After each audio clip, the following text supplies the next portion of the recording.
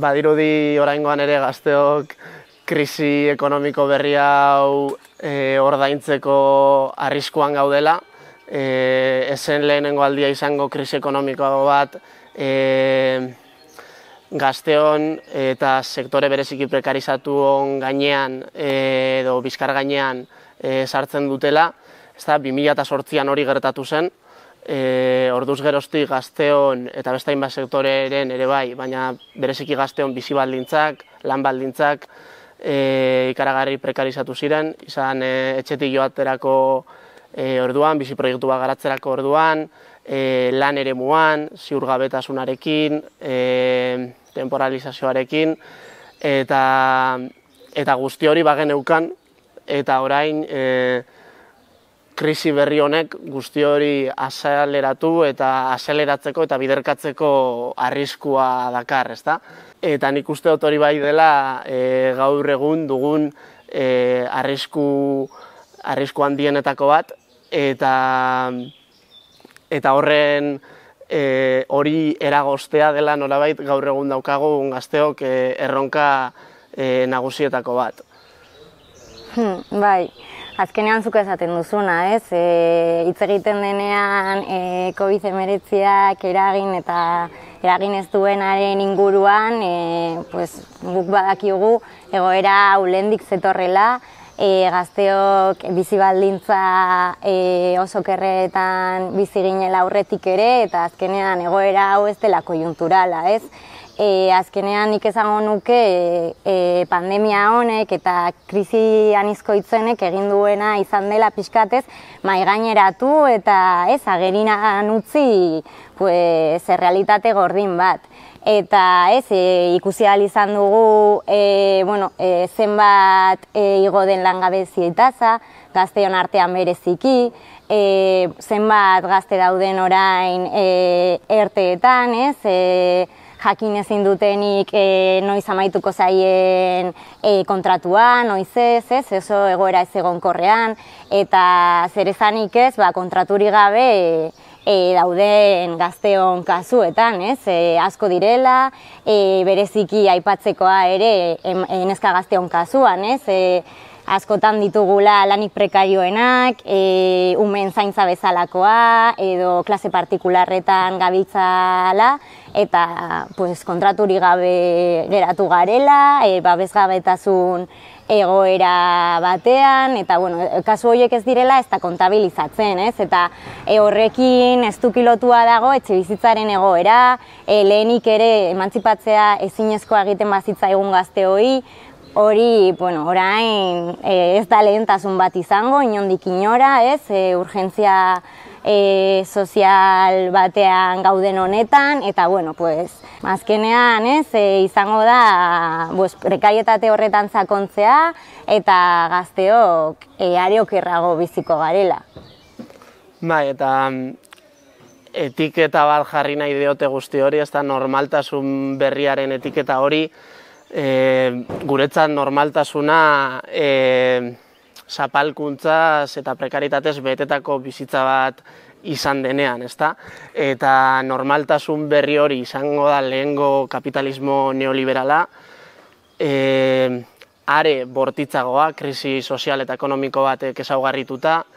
e, ikusi dugu konfinamendu sasoian, e, oso modu nabarmenean e, lehenagoko problematika horiek nola saleratu diren eta baita biderkatu ere,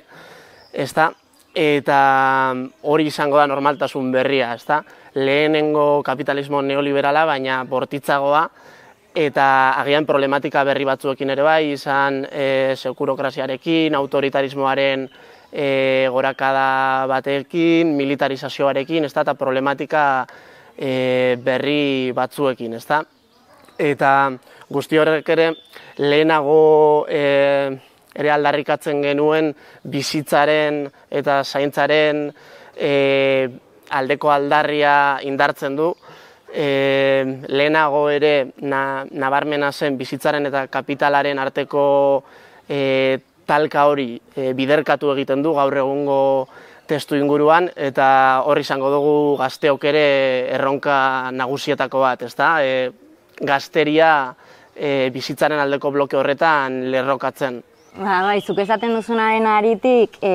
nik uste dut orain gazteriak ez, daukan erronkari potoloena da,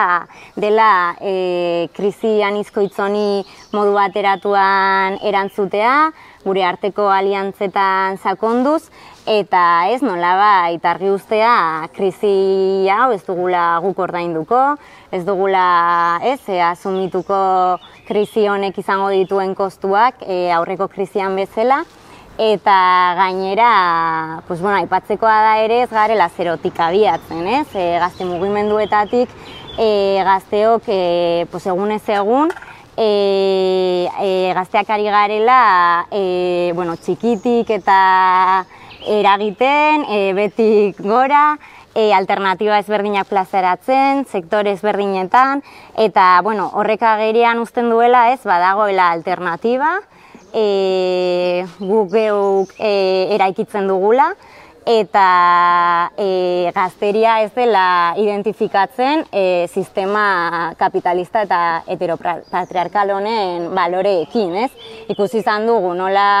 gazteria e,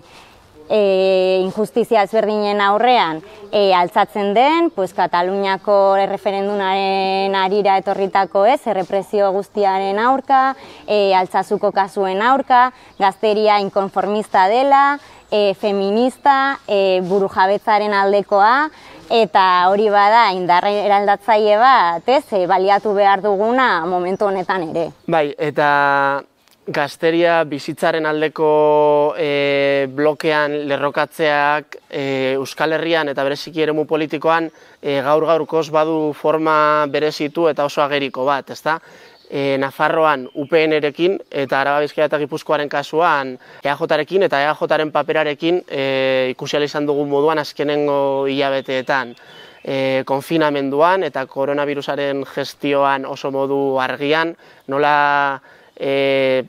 sektore ezberdinak mespretsatu dituen edo albo batera utzi dituen, izan komertzio txikia, autonomoak, osasun neurriak e, ere bigarren plano batean jarri dituen gutxi batzuen ekonomiaren edo etekinen e, mesedetan, eta lehenago ere e,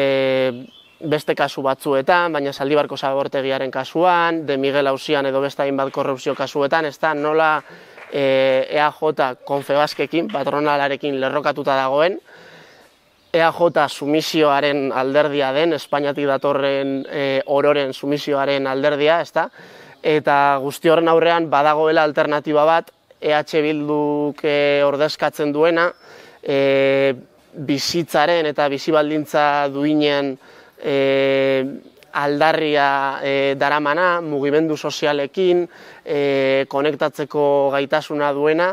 eta nik uste ere bai, e, badoala gero eta gehiago eraikitzen e, gazte mugimenduekin eta gazteriarekin konektatzeko e, konektatzeko gaitasuna, udalgintzatik aipatzen zenuen ere bai, proiektu txikiekin, baina gazteriari parte hartzea eskaintzen eta gazte hone problematika konkretuei aterabidea ematen,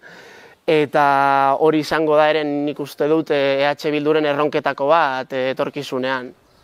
Hmm.